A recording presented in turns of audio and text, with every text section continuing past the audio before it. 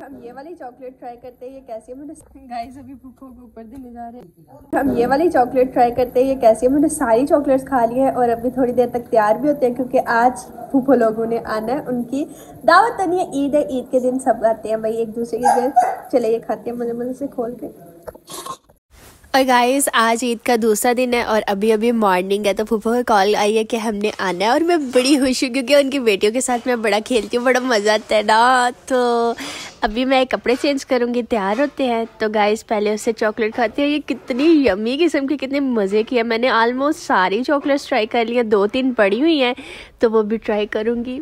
इस दफ़ा तो चॉकलेट खाने का मज़ा आ गया लाइफ में। नहीं, ये देखने में प्यारी लग रही थी, खाने में इतनी मज़े की नहीं थी, बस ठीक थी।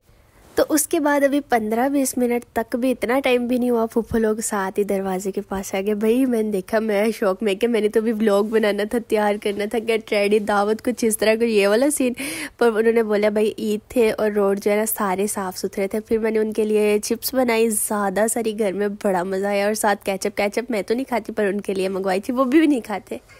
तो मैं तो बड़ी खुश हूँ वो इस वजह से क्योंकि मैं उनके घर कब भी जाती हूँ ना वो हमें बाहर से नहीं मंगवा के देते घर में समोसे भी रोल्स भी सब कुछ बना के खिलाती है। तो उन्हें मेरी चिप्स बड़ी अच्छी लगी और लाइफ में फ़र्स्ट टाइम उन्हें मैंने अपने हाथों से कुछ खिलाया। चिप्स एक नॉर्मल चीज़ है पर उन्हें अच्छी लगी। लिली को देखे गर्मी लग रही है भाई। गाइस अभी हम खाएँगे चाट। और उसके बाद मैंने अपनी फेवरेट ना चाट मंगवा के दी भाई से, पर आज उसका ना वो वाला टेस्ट नहीं था। तो उसके बाद मैंने और मेरी कज़न ने मिलकर रायता बनाया, फिर ऊपर दादो ने बिरयानी बनाई हुई थी, हम वो खाने जा रहे हैं। इतने मज़े की थी यमी यमी दादो ना कभी कभी कुकिंग करते हैं, पर जब भी करते हैं ना, इतने मज़े के खाने बनाते हैं। बहुत टॉप क्लास के भाई, ये रायता था, वो भी अच्छा बना है, और ये बिरयानी थी। गाइस मेरी फूफो एक्सरसाइज कर रही है। बहुत खाना खा लिया पतला कर रहे हैं फूफो को। भाई तेरे पैर नहीं बचे हैं। पापा मेरे हाथ पे लग गई सट ठीक है तू। आ खून निकल गया। मामा। कितनों बेटा खून निकल गया।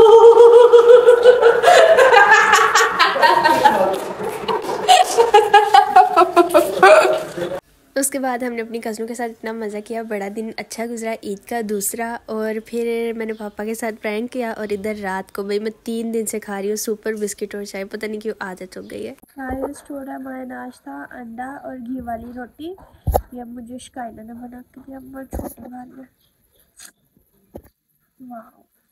तो आज ईद का तीसरा दिन है और इधर मम्मा मेरी बना रही है मोंगरे, क्योंकि कल मेरी फूफो आई थी तो उनके घर में ना मोंगरे लगे होते हैं फ्रेश मोंगरे। तो वो अपने घर के फ्रेश मोंगरे भाई हमारे लिए लेके आए हैं।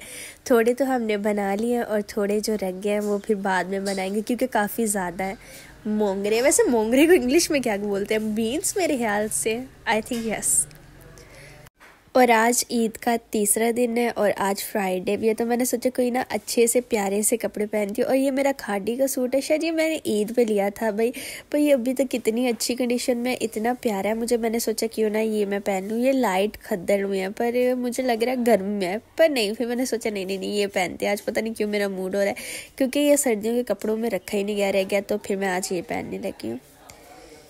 और जिस जिसने अभी तक मेरी वीडियो नहीं लाइक की गई मेरी वीडियो लाइक कर दें और आप बताएँ आपका ईद का दूसरा और तीसरा दिन कैसा रहा? मेरा तो इस दफ़ा ऐसे ही रहा। कहीं गए ही नहीं, क्योंकि आपको पता है एनी लोग भी नहीं है, हम भी नहीं है तो फिर हम इकट्ठे ही मिल के जाते हैं और मेरी फ्रेंड्स भी नहीं है।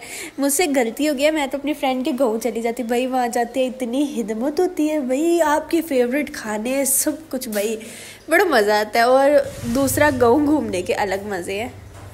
और गाइस पता नहीं क्यों कितनी जल्दी टाइम चेंज होता था। कभी ये फ्राइडे था भाई, ये फ्राइडे का सुन के ना मेरे जहन में एक ही फीलिंग आती थी। भाई सुबह जो है ना स्कूल से कॉलेज से सैटरडे को छुट्टी करनी है और संडे की खुद छुट्टी होगी। दो छुट्टियाँ होंगी, मज़े आएँगे, ये करेंगे, वो करेंगे।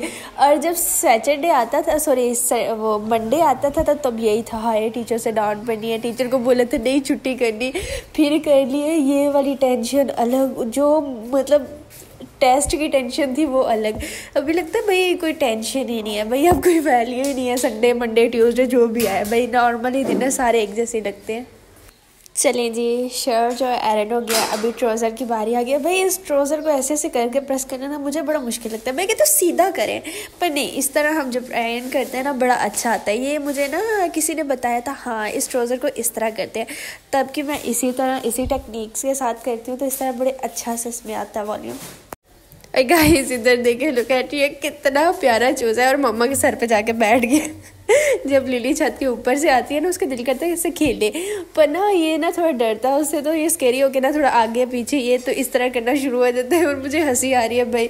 अब ये उतरने के चांस ढूंढ रहा है, कहाँ से उतरूँ। और लिली भी इसे स्टिल बैठ के देखती रहेगी कब उतरेगा, कब मैं इसे पकड़ूँगी, खेल और गाइस मेरे कपड़े प्रेस हो गए, अभी लेंगे शावर और मुझे लगता है टाइम ज़्यादा हो जाना है और ब्लॉग लेट अपलोड होगा इसलिए इस ब्लॉग को यहाँ ही अपलोड कर देते हैं। और आगे जो मैं रूटीन करूँगी, वो नेक्स्ट ब्लॉग में दिखाऊँगी, क्योंकि अभी टाइम ज़्यादा हो गया और पता नहीं आजकल नेट को भी क्या हो रहा है। स्लो स्लो स्लो बहुत ज़्यादा चल रहा है। Bye bye thank you for watching